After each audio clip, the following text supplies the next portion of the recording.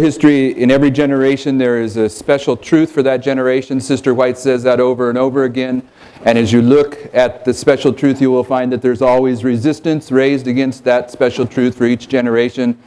Uh, daniel 12 speaks about the wise understanding the increase of knowledge but the wicked do not understand. This is identifying the controversy over the message for every generation. And all those generations' testimony comes down to this generation. So as you understand and present this message, you will find that there are opponents of this message that outnumber those that are understanding this message. And they have many arguments that they bring. They are all weak and easily um, identified from the scriptures and the spirit of prophecy as false reasoning, but nonetheless, you, until you understand those arguments for yourself and where to go to refute them, it's a, it's a work that the Lord allows to happen in each of us. One of the arguments that is out there is it's just, you know, how, how can anyone say that the latter rain is falling? You're going to hear that if you haven't heard that before. And brothers and sisters, everything that we're saying here, everything we're teaching is an aspect of the latter rain message. Whether it's returning to the foundations, that's part of the latter rain message. Uh, whether it's Daniel 11, 40 to 45, that's part of the latter rain message. Um, whether it's the third woe, that's the latter rain message. They're all, you can all put them under the umbrella of the latter rain. What we're going to share here is, in my mind, it's one of the, if, if we can convey the thought in two presentations, it's one of the strongest evidences that the latter rain is falling. But turn with me, if you would, to Jeremiah 6.16. I think we've studied enough of these ideas here, uh, prophetic truths, that you can probably begin to see the Bible opened up a little bit more than maybe you've noticed before. Um, and, and, you could, if we had the time, it would be nice just to walk through all the way of Jeremiah 6, several passages in the scripture like that. But in verse 16, it says, Thus saith the Lord, stand ye in the way, and see, and ask for the old path, where is the good way, and walk therein, and you shall find rest for your souls. And when you trace down rest and refreshing in the Bible, this is the latter rain. The rest and the refreshing is the latter rain. Okay, on the seventh day the Lord rested and he was refreshed. And you can take that theme through the Bible. Sister White in Great Controversy 6.11 says the refreshing is the latter rain.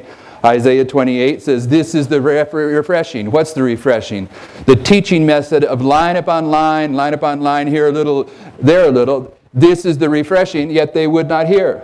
The refreshing is a message, and here in Jeremiah 6 16, it says, You will find rest for your souls, but they said, We will not walk therein. There's going to be a resistance to returning to the foundational truths. But notice the next verse. Also, I set watchmen over you, saying, Hearken to the sound of the trumpet. Also, I set watchmen over you, telling you that on September 11, 2001, the seventh trumpet, the third woe, arrived in history. Also, I set watchmen over you, saying, Hearken to the sound of the trumpet. But they said, We will not what? Hearken. Uh, so you see, in here we've got to return to the foundations. We've got the third woe, both latter rain components. Let's read on. Therefore, hear ye nations, and know, O congregation, what is among them. Hear, O earth, behold, I will bring evil upon this people, even the fruit of their thoughts, because they have not hearkened unto me, nor to my law, but rejected it. Strong delusion for these people that will not hearken to it. Second Thessalonians, we've been dealing with that. Continuing on. To what purpose cometh there to me incense from Sheba and sweet cane from a far country? Your burnt offerings are not acceptable, nor your sacrifices sweet unto me. Therefore, thus saith the Lord, Behold, I will lay stumbling blocks before this people, strong delusion, and the fathers and the sons together shall fall upon them, the neighbor and his friend shall perish. Thus saith the Lord, Behold, the people come from the north country. Who's the people that come from the north country? King of the north, Daniel 11, 40 to 45. The, whole Bible is dealing with this message that we're dealing with, and this message is the latter rain message and when you understand that, you're going to realize that the majority of Adventism will not hearken. Okay? And, it, it, and you, you, have to be, you have to enter into that experience to develop the spiritual muscle to stand during the Sunday law crisis when the, all your earthly support is cut off and the whole world is turned against you. You know, no one goes to the Olympics and starts right there on that day and say, okay, I'm going to run this race, they're practicing for years before they get to the Olympics. Taking this message to the Adventist church is our pre Olympic practice to be able to run the Olympic race in the Sunday law crisis. So, this next, this next presentation is about the latter rain also. It'll be a little bit different, perhaps, than you've ever approached the seven churches. Um, and one thing, and I, because of time, I'm going to move through these things, maybe po point you to some of the quotes in the notes, and maybe read some of them, but not all of them. The first thing that you need to understand if you're going to follow this, I believe, is that as Adventists, we pretty much understand the basics of the seven churches. The seven churches represent the history of the Christian church from the time of the disciples to the end of the world. But we should know, we may have never thought about it, that in those seven churches there are more, it's more than one, one line of truth. For instance, the seven churches all existed when John was given the revelation. They were literal churches. So the message to the seven churches was a literal message to those Christian churches at that time. That's one line of truth.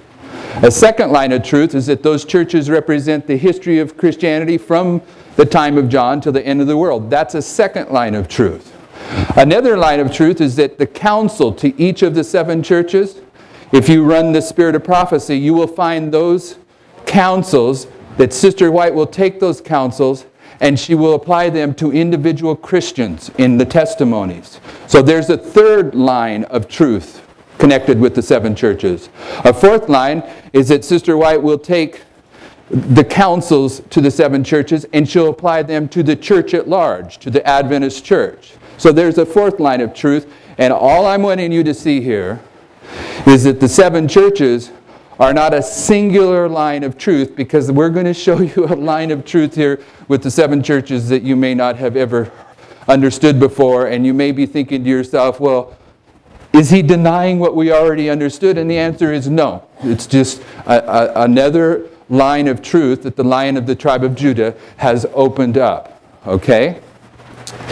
Now, there are people, as uh, Pastor Sankey was saying in the last presentation, that take the trumpets and the seals and they place them at the end of the world. Uh, famous ministries, not so famous ministry. Brothers and sisters, if you're going to stay on the foundations, if you do that, you're off the foundations. Okay? If you say that the pioneers were incorrect and place the seals and trumpets at the end of the world, you're off the foundations. There's another argument, though. Some people say, no, I accept the pioneer understanding of the churches, the seals, and the trumpets, but I'm looking for a second application. Theirs is the first application. This is the second application. Okay, prophecy is that way. Okay, there, there are prophecies that have been fulfilled and they're repeated. There are first and second applications, but it can't be with the churches, seals, and trumpets. Can't be. Number one, the pioneer understanding, if you're going to stay on the foundations, the pioneers understood that the churches, seals, and trumpets were one prophecy.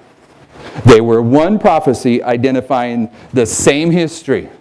The seven churches represented the history of the Christian dispensation from the disciples to the end of the world, and it was dealing about the internal history within the church. The pioneers believed the seven seals represented that same history, but it was representing the history outside the Christian church, and that the seven trumpets were representing the providential forces during that very same history that the Lord used to judge Rome. And for the, the pioneer understanding, you can't separate the church's seal and trumpets. They're all one unit of thought. And you can't have a secondary application for them because, because, and this is important to get in your head, the, if you're going to maintain the pioneer understanding, we're now living in the time of the seventh church, the seventh seal, the seventh trumpet, and until that finishes, until that prophetic history is over, you can't have a second application. The seventh church seal and trumpet would have to finish before you started to go through a reapplication of the first church seal and trumpet. So anybody that's putting these at the end of the world has left the foundations. Okay, that being said, um, page 262. Uh, first paragraph there, the prophecies relating to The last days especially demand our study. Um, the third paragraph, speaking of the book of Revelation, this instruction is of the greatest importance to us, for we're living in the last days of this earth's history. Soon we shall enter upon the fulfillment of the events. One of the reasons, if you, I hope you read this quote later, one of the reasons that I have this quote in here is that in here, when Sister White identifies Revelation as the gospel, the Gospel of Revelation, she emphasizes that it's identifying events. Okay, some people struggle about they hear the prophetic word and they insist, well, I hear a lot of prophecy, but I don't see Jesus in it. Revelation is the gospel, and as Sister White here in this passage is identifying the book of Revelation as the gospel, the gospel that Christ came to present to John in the Revelation. Then she explains it that it's identifying the events at the end of the world. Somehow these prophetic events are the gospel, even if we are not I'm willing to see it. Um, second to the last paragraph, the book of Revelation must be open to the people, and that's what we're going to try to do a little bit of here. Many have been taught that it is a sealed book, but it's sealed only to those who reject truth and light. The truths that it contains must be proclaimed that the people may have opportunity to prepare for the events which are soon to take place. Next paragraph the parable, perils of the last days are upon us, and in our work we are to warn the people of the danger that they are in. They are in, that not the solemn scenes that prophecy has revealed are soon to take place be left untouched. Next quote Testimonies, Volume 8. The solemn messages that have been given in their order in the Revelation are to occupy the first place in the minds of God's people.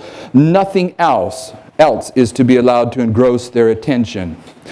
You have a quote from Acts of the Apostles where she identifies, as we understand, the seven churches represent the history of the Christian church from the time of the disciples to the end of the world, and that as Christ walks among the seven candlesticks, it's showing his close relationship with each of these churches. For the, I'm on page 263 on the top. It's our responsibility, if we're going to be among the 144,000, to follow the Lamb whithersoever he goeth. And I would submit to you that one of the primary ways that the 144,000 follow the Lamb whithersoever he goeth is they follow him as he opens the prophetic word to them at the end of the world, and they follow him through the book of Revelation and Daniel as he opens different insights. This is how the 144,000 follow the Lamb whithersoever he goeth. And in Revelation 2 and 3, where he goeth, is he's moving through these seven churches. And these seven churches, if you follow the prophetic message in these seven churches, he, he takes us very far. Okay? You have a quote here um, from Review and Herald under Miller's rules. She says, Those who are engaged in proclaiming the third angel's message are searching the scriptures upon the same plan that Father Miller adopted. In this complete quote, she quotes the first five or six rules of Miller's rules of prophetic interpretation and then put her, in, her, puts her endorsement on all of his rules and then makes this statement. Um, she's endorsing Miller's rules and she's saying the 144,000, the, the Bereans at the end of the world that are following the Lamb as he opens the prophetic word are following the same rules that William Miller adopted. Um, and so I have a quote here from William Miller. Speaking of the seven churches, the seven churches of Asia is a history of the church of Christ in her seven forms, in all her windings and turnings, in all her prosperity and adversity, from the days of the apostles down to the end of the world. We understand that. Um, and he goes on to say the seven seals are a history of the transactions of the powers of the kings of the earth over the church. Notice he's making a distinction. The same history, but the seals are representing the external history. The churches are representing the internal history. Internal history. Um, notice at the bottom of the page, this is Uriah Smith. I like the way he expresses it. The seals are introduced to our notice in the fourth, fifth, and sixth chapters of Revelation. The scenes presented under these seals are brought to view in Revelation 6 and the first verse of Revelation 8. They evidently cover events with which the church is connected from the opening of the dispensation to the coming of Christ. Now, here's the part I like the way that Uriah Smith expresses it. It clicks for me. With the seven churches present, while the seven churches present the internal history of the church, the seven seals bring to view the great events of its external history. If nothing else, you should see that the pioneer approach understands that you can't separate the seals from the churches. They, you can't say, yes, I believe that the seven churches represent the history of the Christian dispensation from the time of the disciples until the end of the world, but the seven churches are events at the end of the world because you've just separated them.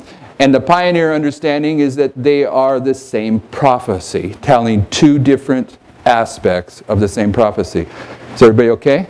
You mean seven seals and seven churches are separated at the end of the world by people? You said seven churches. Yeah, seven churches and seven seals. You can't separate them. Okay. Keep me on track. Now, the next quote is from James White. It's a, a point that we got to develop a little bit before we get into the actual study. From Review and Herald, February 12, 1857.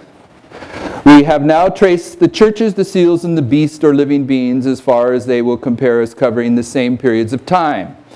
The seals are seven in number, the beast but four. What he's saying is, uh, what we're saying here is this, is the pioneers understood that Ephesus was the history of the first seal, that Smyrna is the history of the second seal, Pergamus is the history of the third seal, Thyatira is the history of the fourth seal, but in these seals you have the command to come and see. You have the, the four horses. You have the beast, okay? And James White is going to say, but you don't have the beast or the command in these last three seals. Because he's, he's identifying a distinction of four, three distinction that runs through all of this. That you, you need to notate that there a unit is seven, but there's also a truth compa- compared in this 4-3 combination. It's easy to see when you realize that the first, second, third, fourth seal are four horses, are they not? But the last three seals are not horses. Uh, and the, the first four trumpets are trumpets, but what are the last three trumpets? They're trumpets, but they're also woes. Okay, so there's, a, there's a distinction. And you can show that there's also a distinction in the last three churches. But we're just putting some of these thoughts. We're not really where we're going yet. Putting some of these thoughts together. I'm going to continue on with James White. The seals are seven in number, the beast before. And it may be, this is the second paragraph, third paragraph actually, on the top of page 264. It, and it may be well here to notice that the at the opening of the first, second, third, and fourth seals, the first, second, third, and fourth beast are heard to say, Come and see. But when the fifth, sixth, and seventh seals are opened, there is no such voice heard. Neither do, neither do the last three churches and the last three seals compare as covering the same periods of time as the first four churches and the first four seals.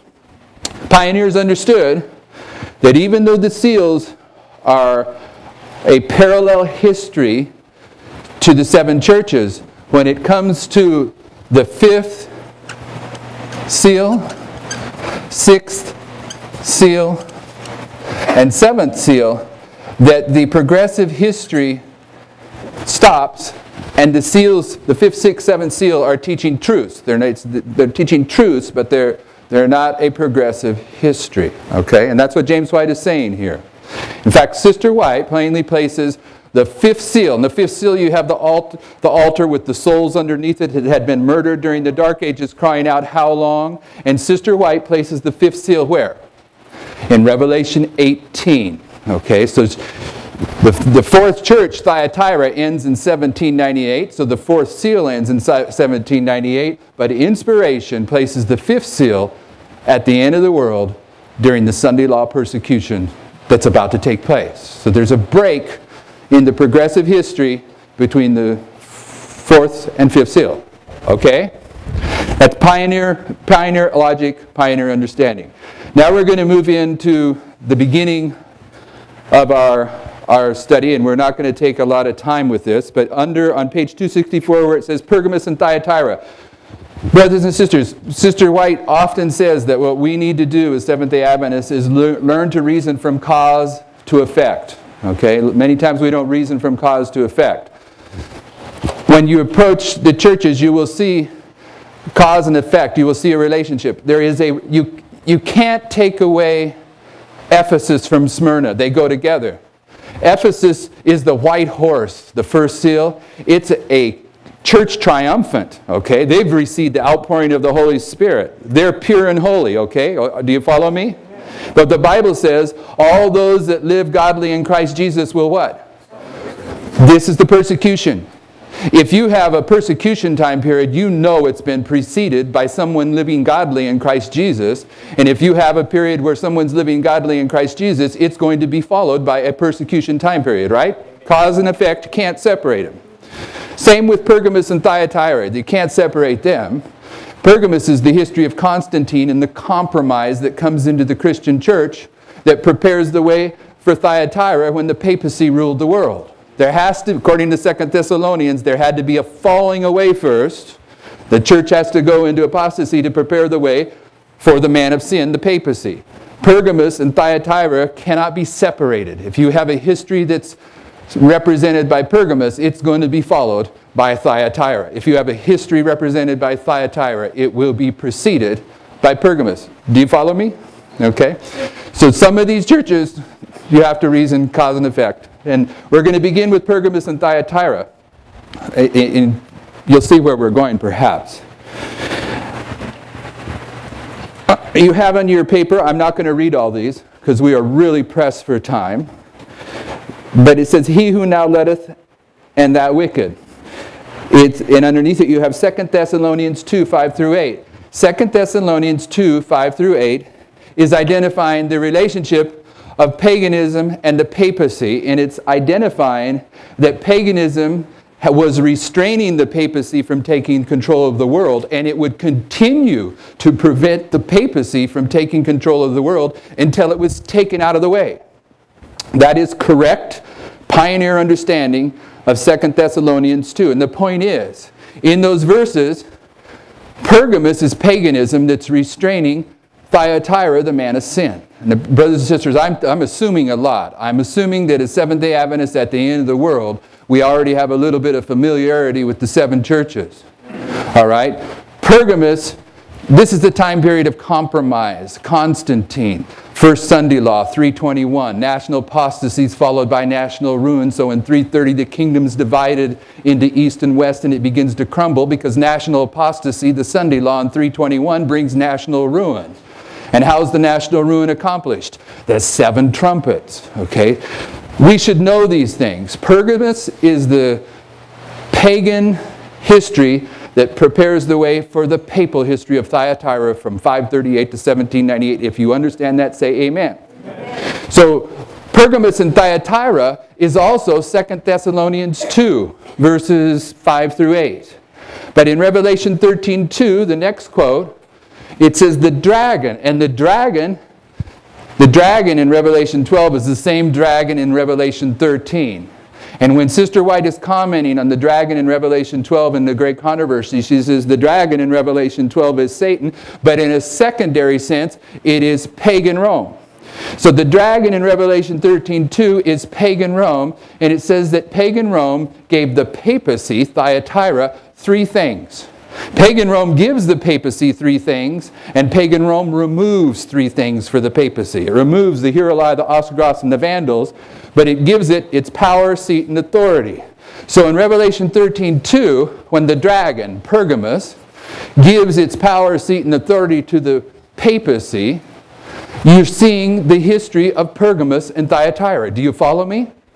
Okay, all right. That's two other lines in prophecy that are Pergamus and Thyatira, correct? Line upon line. In Daniel 8, verse 11 and 12, you, yea, he, he, I'll read this. Yea, he, ma he magnified himself even to the prince of the host, and by him the daily sacrifice was taken away, and the place of his sanctuary was cast down. And a host was given him against the daily sacrifice by reason of transgression, and it cast down the truth to the ground and practiced and prospered. Haven't got time to defend this. I'm just going to tell you what this is. Verse 11 is pagan Rome. It says, Pagan Rome magnified himself to Christ, the prince of the host, at his birth and at his death. And through pagan Rome, paganism was lifted up and exalted and the place of pagan Rome's sanctuary, which was the city of Rome, was cast down by Constantine in the year 330 when he moved the capital of the empire from the city of Rome to Constantinople. Verse 11 is dealing with pagan Rome, and verse 12 says, And a host, military strength, is given to the papacy by the reason of transgression, by the reason of combination of church and state. The military power of pagan Rome was given over into the hands of the papacy, and the papacy cast down the truth, and it practiced and it prospered for 1260 years. So Daniel 8:11 is once again Pergamus and Thyatira. Follow me, even if you're not too settled in on the daily all of that is correct. But do you see that it's Pergamus and Thyatira? You'll see where I'm going in one moment. Okay, in the next one. And by the way, as, uh, as each of these lines of prophecy are dealing with history of Pergamus and Thyatira, they're giving us another aspect of the history. God isn't redundant. He's just not repeating things, the same thing over and over again. When you bring these all together, you're getting a clear picture of Pergamus and Thyatira. We're not taking time to deal with those histories. We're trying to demonstrate a principle where we're going to go way beyond Pergamus and Thyatira, so just bear with me. Daniel 12 11, from the time the daily, from the time paganism, Pergamus, is taken away. The resistance of paganism to the rise of the papacy was brought to an end at the, the, the Battle of the Visigoths in the year 508. It was taken away from that time, 508, in order to set up Thyatira. Daniel 12:11 is telling another historical relationship between Pergamus and Thyatira. Okay? Now we're where we want to go. And we dealt with this at the beginning of the week when they were going over Daniel 11 40 to 45, they dealt with Daniel 11 30 and 31. And Daniel 11 verse 30 is pagan Rome, and verse 31 is papal Rome. These two verses are telling how the papacy is placed on the throne of the world. When you get to the, to the end of verse 31, and it says, And they shall place the abomination that maketh desolate. That's the papacy. They were placed on the throne of the earth in 538. And verses 30 and 31 of Daniel 11 is describing the process of how pagan Rome, what it did to help place the papacy on the throne of the earth. But as we read at the beginning of the week, and it's here in your quote, but we don't have to read it because we've already read it a couple times. Sister White quotes Daniel 11, verses 30 to 31, and as soon as she, fin- 30 to 36, and as soon as she finishes verse 36, what does she say? Scenes similar to those described in these words will take place. So, what has she just done? What has she just done? She's saying that verses 30 to 31 they're going to be repeated, but we're dealing with verses 30 to 31. You can add 36. 36 is the history, all the way to 36 is the history of Thyatira. Verses 30 to 36 is the history of Pergamus and Thyatira. And Sister White is saying that the history of Pergamus and Thyatira is repeated in the history of Laodicea. Amen. Do you see it? Amen. So Laodicea is Pergamus and Thyatira.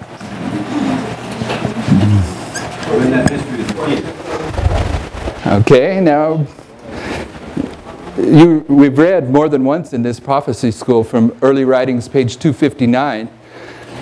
And there's a paragraph that I've spoken about, I've heard others spoken about. It's in this notebook more than once. Uh, and I'm not, I better follow my notes. Okay, I uh, I'll follow my notes. The third and fourth seal. Pergamus and Thyatira are the third and fourth seal, okay? Now, notice under the third and fourth seal on page 265, the third and fourth seal are Revelation 6, verses 6 through 8, right? You got it on your paper. Notice what Sister White says. The same Spirit is seen today that is represented in Revelation 6, 6 through 8. History is to be repeated. That which has been will be again. Sister White is here saying that the fourth, the, the third and fourth seal are going to be repeated in the history of Laodicea. Do you see it? Okay, now, do you, do you know what we're doing? Just so you know where we're going. What we're doing, brothers and sisters, is we're taking the Bible, or the Lord's taking the Bible, And he's shrinking it down to the history of Laodicea. And the history of Laodicea is the history of the end of the world. And the history of the end of the world is the events connected with the close of probation. And the events connected with the close of probation is Daniel 11, 40 to 45. The whole Bible is getting shrunk down and placed upon the platform of Daniel 11, 40 to 45 because the whole Bible is repeated at the end of the world, and the pattern of that repetition is illustrated in the last six verses of Daniel 11. And on September 11th, 2001, when the mighty angel came down with the little book open in his hand, he opened to his students of prophecy the fact that the whole Bible is to be shrunk into a little book and God's people are to eat it. And the only way they can understand the little book is if they understand the last six verses of Daniel 11. That's where we're going with this. But we're going beyond that if we get, if we get where we're supposed to go. Ephesus and Smyrna. I already said it. And all that will live godly in Christ Jesus shall suffer persecution. Sister White says, this is Smyrna, this is Ephesus, right? Ephesus, they were living godly. They suffered persecution in Smyrna, Maranatha, page 199. There will be many martyrs. Smyrna is repeated at the end of the world. And so is Ephesus. Right? Early Writings, page 259, Sister White talks about a progressive testing process. Those that would not receive the, the message of John the Baptist could not be benefited by the teachings of Jesus. We've read that, right? In the next paragraph, she moves into the history of the Millerites. She says, Those that rejected the first angel's message could not be benefited by the second angel's message. So, what is she doing there? She's saying that Ephesus illustrates Philadelphia. This is the Millerites, and this is the history of Ephesus. Those that rejected the message of John the Baptist could not be benefited by the teachings of Jesus. And immediately after that paragraph, those that rejected the first angel's message in the history of Philadelphia, they weren't benefited by the second angel's message. So Sister White is saying that Ephesus is a type of Philadelphia. But brothers and sisters, what's the main thing we've been teaching here this week? That the Millerite history, Philadelphia, is repeated in the history of the 144,000 Laodicea. So not only is Ephesus repeated in Laodicea, Philadelphia is repeated. Do you see it? I see. I see you uh, look like it gets that way. The, don't force it. It's really very simple. It, it, just, all the prophets are speaking about the end of the world. All the stories in the Bible are examples of the end of the world. Those examples will find their fulfillment in histories that are represented by these histories. All right? Okay? I mean, it's, you've already been prepared by Pastor Carrasco to see a real, real easy jump. There was a reform movement in the time of Ephesus, right? The reform movement of Christ, which paralleled the reform movement of Moses, which paralleled the reform movement of Elijah, which paralleled the reform movement of Noah, which paralleled the reform movement of the three decrees, which paralleled the reform movement of the Millerites, and when they all prefigured the final reform movement of the 144,000. So every one of those histories, Noah, Elijah, Nehemiah, Moses, Christ, they all come down here to Laodicea and the 144,000. Right? That's all we're doing. So relax. Okay? There's, there, you, there's some more quotes about how Ephesus, Ephesus is repeated in Laodicea. I'm passing over those. I think you've got that. And uh, now, sometimes, we're not familiar with this, but the pioneers understood that in the Millerite history, which is Philadelphia, that that history consisted of three churches that were contemporary. All right? The Millerites believed that those that were faithful in the Millerite movement were Philadelphians. Those that were unfaithful in the Millerite movement were Laodiceans. But they were carrying a message to those outside the Millerite movement, and they were Sardinians or whatever. All three of the churches they believed were contemporary in their history. Of course, Sardis means those that have escaped. So when the Millerite history is repeated at the end of the world, and by the way, Sister White says that the foolish virgins are Laodiceans. Did you know that? She says that. So if the foolish virgins are Laodiceans, who's the wise virgins? Philadelphians, okay? So in Adventism, when the parable of the ten virgins is fulfilled, there's going to be foolish virgins and wise virgins, right? But who's those people outside of Adventism? Well, it's Daniel 11, verse 41. Even Edom and Moab and, and the chief of the children of Ammon, what will they do?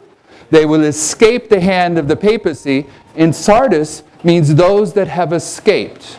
So at the end of the world, you've got the wise virgins of Adventism, you've got the foolish virgins of Adventism, and you've got the 11th hour workers. And the Millerites understood that same threefold division, and why wouldn't they? The, our day and age is a repetition of the Millerite history. The last three churches have a, a distinction between the first four in the sense that they're, they have this connection. And the last three churches have a distinction between the first four churches. The last three seals have a distinction between the first four seals. And the last three trumpets are woes, making a distinction between the first four trumpets. So to, to identify this truth is consistent with the structure that's in the book of Revelation, okay? Okay? So you can see on page 266 a quote from Joseph Bates where he's talking about this threefold division in the Millerite history of Sardis, Philadelphia, and Laodicea.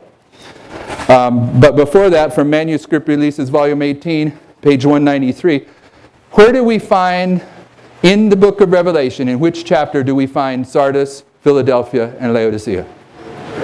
That's chapter 3, is it not? So Sister White says here, Oh, what a description! How many there are in this fearful condition. I earnestly entreat every minister to study the third chapter of Revelation, for in it is portrayed the condition of things existing in the last days. Sister White says, this is Revelation chapter 3, that Sardis, Philadelphia, and Laodicea represent the condition of things existing in the history of Laodicea. So, we also have Sardis here in the history of Laodicea. Now, okay, you'll see the quote from Taylor Bunch that gives you the definition of Sardis at the bottom of the page. And now, if you think that this is something that is, you know, a little bit new, I want to read you some quotes from Haskell's book on Revelation on page 267. Story of the Seer of Patmos. From page 69 it says, It should be remembered that as the experience of Ephesus, Smyrna, and Pergamos will be repeated in the last church before the second coming of Christ, so the history of Thyatira will have its counterpart in the last generation. Okay, Haskell's teaching this very thing. Uh, and then he's, he's speaking to William Miller. He says he applied the test, but all pointed forward to the year 1843 as the time when the world must welcome its Savior.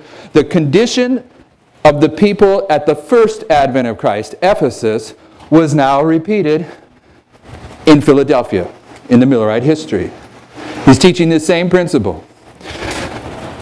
Um, there was a time in the history of Pergamos when Christianity thought paganism was dead, but in reality, the religion which was apparently vanquished had conquered. Paganism, baptized, stepped into the church.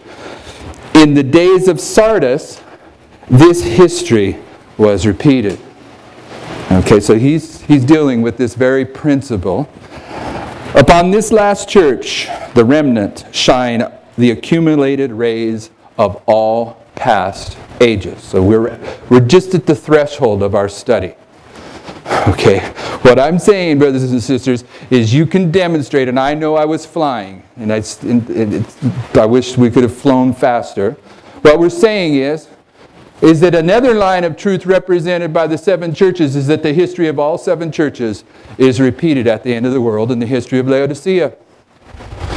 Okay? Now we're going to take a step that Elder Haskell didn't make. Ancient Israel, this is Sister White. The trials of the children of Israel and their attitude just before the first coming of Christ illustrate the position of the people of God and their experience before the second coming of Christ. Satan's snares are laid for us as verily as they were laid for the children of Israel just prior to their entrance into the land of Canaan. We are repeating the history of that.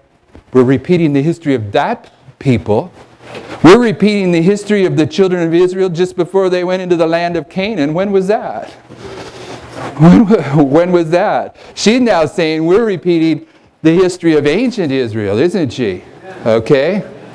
Now, let's read on uh, to the to the last paragraph on that page, or the third paragraph. This history should be a solemn warning to us. Last paragraph, this song was not historical but prophetic, while it recounted the wonderful dealings of God with his people, with ancient Israel in the past.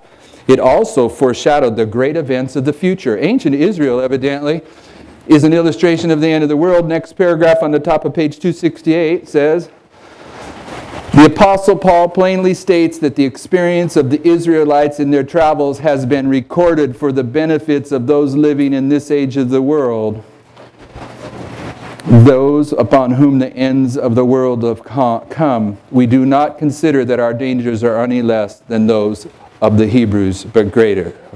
All right, now we're just going to work from the board here because of time and because I need to slow down. It's at this point where I think I have the greatest potential of losing you. This is ancient Israel. This is modern Israel. All right? Modern, modern Israel is us. yeah, but modern Israel begins with Ephesus, right? So this is the starting point. This is the first church, modern Israel. But Ephesus is the history of what? What reform movement took place in Ephesus?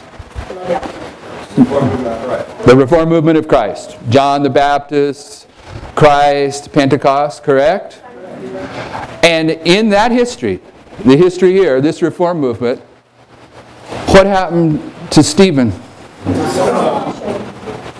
That was the end of ancient Israel, wasn't it? So Ephesus for the Christian church is Laodicea for ancient Israel.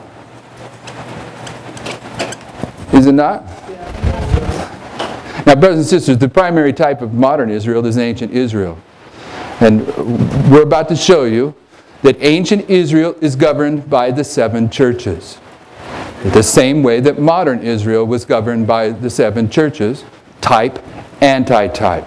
You've just seen, without realizing where you were admitting to, that Ephesus, the first step in the Christian church, is the last step for ancient Israel.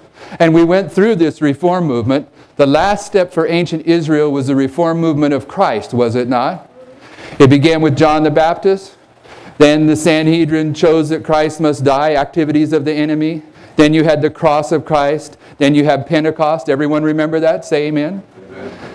And that was the end of ancient Israel. And what did it do? It was a perfect match to the beginning of ancient Israel, was it not? John the Baptist was Moses. Right?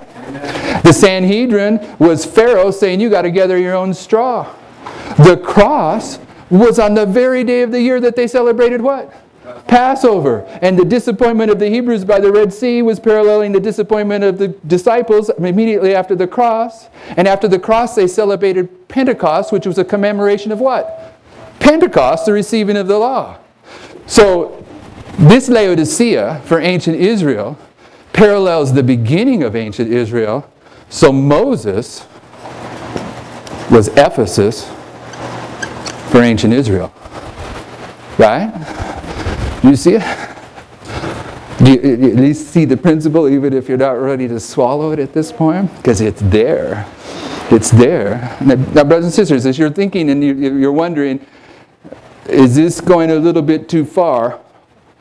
Let me ask you a different sort of question. Do you think that this kind of thing could be invented by a human being? Brothers and sisters, you've already walked through the reform movements. They're, they're the same. Let, let me read you something here under Thyatira. Now, I, I, hope we're all, we all know just automatically that Thyatira represents the Dark Ages from 538 to 1798. That's Thyatira. Okay? Notice this quote From Prophets and Kings, page 714. Today, the church of God is free to carry forward to completion the divine plan for the salvation of a lost race. For many centuries, God's people suffered a restriction of their liberties. The preaching of the gospel in its purity was prohibited, and the severest penalties were visited upon those who dared disobey the mandates of men. As a consequence, the Lord's great moral vineyard was almost wholly unoccupied. This is the time period of Thyatira. If you understand that, say amen.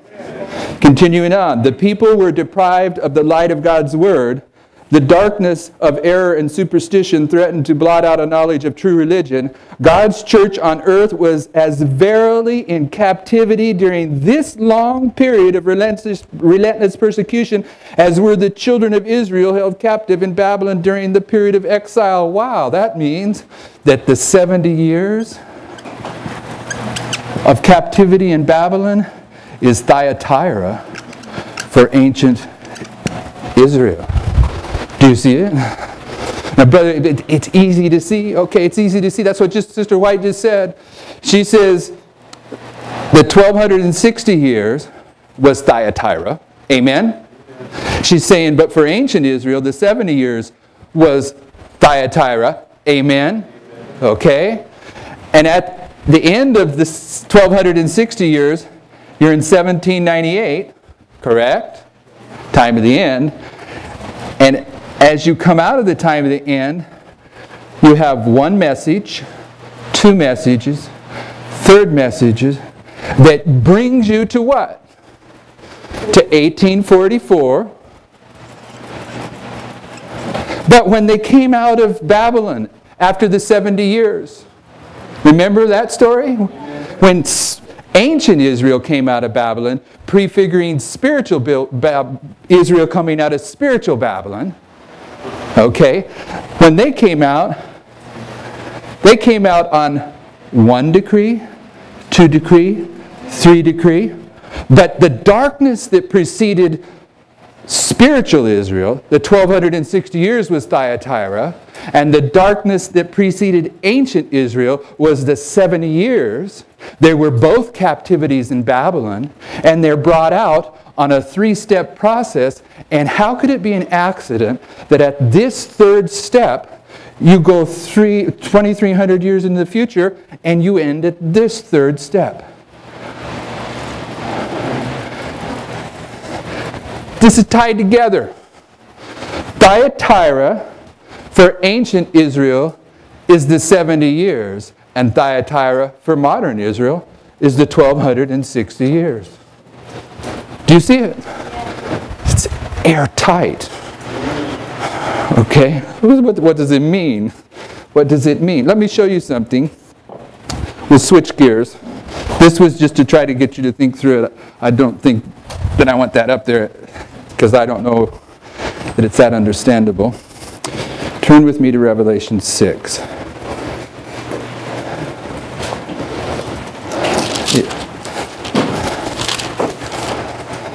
In Revelation 6, verse 9, we're going to read about the fifth seal. Now, what we're saying is that Ephesus, Smyrna, Pergamos, and Thyatira represent the history represented by the first, second, third, and fourth seal. Okay? All right? And in the fifth seal, which Sister White places off at the end of the world, it says, And when he had opened the fifth seal, I saw under the altar the souls of them that were slain for the word of God and for the testimony which they held, and they cried with a loud voice, saying, How long, O Lord? In the fifth seal, in the fifth seal, the question is raised, How long? Okay, so let me put the question down here. How long? This is the fifth seal for modern Israel, and the question is, is how long? Are you following the logic I'm laying out here? Turn with me, if you would, to Zechariah. This is, well, you can go to your notes. Page 268.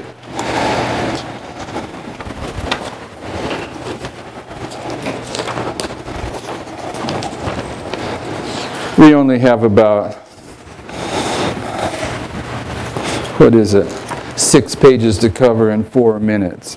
it's not, it's not going to happen. All right.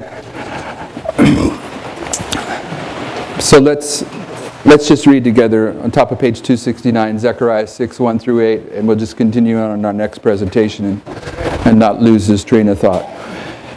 And I turned and lifted up mine eyes and looked, and behold, there came four chariots out from between the two mountains. And the mountains were mountains of brass. What pulls a chariot? Okay. In the first chariot were red horses, in the second chariot black horses, in the third chariot white horses, in the fourth chariot grizzled and bay horses. Okay. Then I answered and said unto the angel that talked with me, What are these, my Lord? And the angel answered and said unto me, These are the four spirits of heaven which go forth from standing before the Lord of the whole earth, of all the earth. The black horses which are therein go forth into the north country, and the white go forth after them, and the grizzled go forth toward the south country. And the bay went forth and, and sought to go that he might walk to and fro through the earth. And he said, Get, the, get you hence, walk to and fro through the earth. So they walked to and fro through the earth. Then he cried up upon me and spake unto me, saying, Behold, these that go to the north country have quieted my spirit in the north country. There are four spirits, four chariots pulled by four horses that are under the direction of the Lord. And after Zechariah sees them walking to and fro on the earth, what, what they have accomplished is that they've quieted the Lord's Spirit in the north country. Isaiah 14, 1 through 7 will tell us what it means that the earth is, at, is quiet and at rest. And you have it underneath there, 1 through 7 from Isaiah 14. For the Lord will have mercy on Jacob and will yet choose Jerusalem and set them in their own land, and the strangers shall be joined with them, and they shall cleave to the house of Jacob, and the people shall take them and bring them to their place, and the house of Israel shall possess them in the land of the Lord for servants and handmaids, and they shall take them captives, who captives they were, and they shall rule over their oppressors. And it shall come to pass in the day that the Lord shall give thee rest from thy sorrow and from thy fear and from thy hard bondage wherein thou was made to serve, that thou shalt take up this proverb against the king of Babylon and say, How hath the oppressor ceased, the golden city ceased? The Lord hath broken the staff of the wicked and the scepter of the rulers. He who smote the people in wrath with a continual stroke, he that ruled the nations in anger is persecuted and none hindereth. The whole wor- world is at rest and is quiet. When the earth is made to be at rest and it and, and it is made to be quiet is at the end of the Babylonian captivity.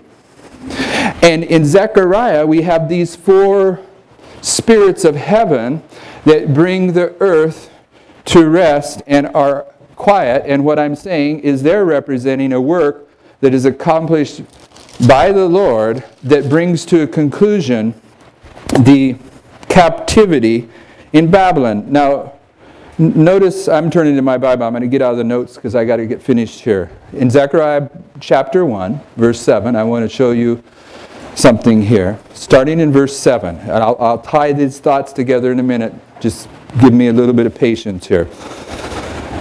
Um,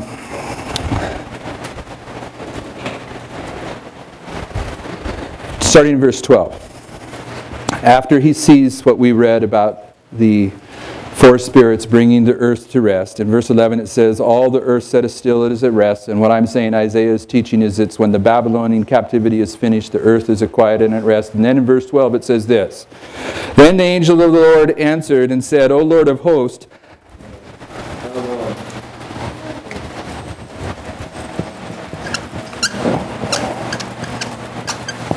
Any accidents in the Word of God? How? Verse 12. Verse 12. Then the angel of the Lord answered and said, O Lord of hosts, how long wilt thou not have mercy on Jerusalem and on the cities of Judah, against which thou hast have indignation threescore and ten years? What's the threescore and ten years? 70 years. As soon as this 70 years captivity is ended, we see the crash, which Sister White says is a parallel history to the 1260 years captivity of spiritual Israel in spiritual Babylon. As soon as this 70 years of captivity is ended, these four spirits at the beginning of Zechariah have caused the earth to be rest at rest, and Isaiah says the earth is at rest at the end of the Babylonian captivity. And as soon as this is accomplished, we have a question about how long, which is paralleling when the earth is made to rest at the end of this Babylonian captivity, spiritual Babylon. And as soon as that's finished, and what finishes that is four horses. First seal, second seal, third seal. And under the fourth seal, the fourth horse, here it's four chariots. The question is, is how long? And what I'm saying to you is that you can demonstrate that not only are all seven churches illustrated in the history of ancient Israel, but also are the seven seals illustrated in the history of ancient Israel. And as you follow the Lamb whithersoever he goeth as he begins to walk through the candlesticks in the book of Revelation. He uses these truths to shrink the Bible down to one history, the history of Laodicea, which is Daniel 11, 40 to 45. And once you're at that position where, you, where we're not quite there yet, then there is one of the strongest arguments that we're now in the latter rain that's recorded in God's Word. Shall we pray?